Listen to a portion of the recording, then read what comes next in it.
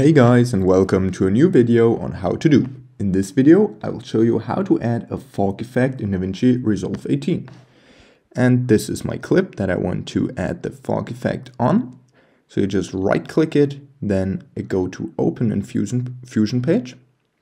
And here you drag in a merge node between media in and media out. And then you add this fast noise just on top of merge 1 and connect it with merge 1 just like this and here you can see you already have kind of a noise. What I like to do is just get a little bit more detail but less contrast. For example, if you do all the contrast here, you can see it, it just messes it up.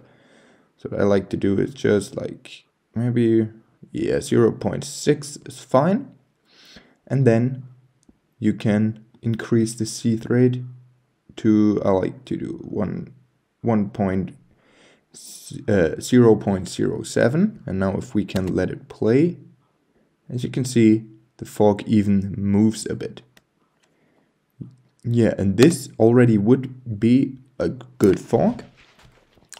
But if you, for example, want the fog only to appear at the bottom half or at the upper half, you can um, use this one, the rectangle, ellipse, or polygon um, one.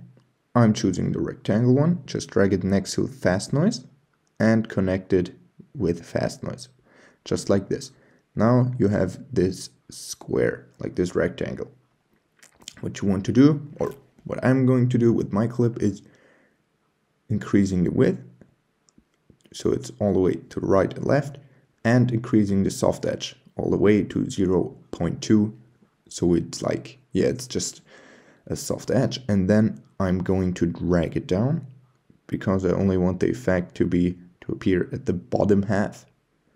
And now, if we go back and let it play, this is our end result. The fog is at the bottom half and at the top it doesn't have fog. Okay, that was a quick DaVinci Resolve tutorial on how to add fog. If you enjoyed the video, please like and subscribe to stay tuned for more how to do videos. If you have a video suggestion, just let me know down in the comments. See you guys soon.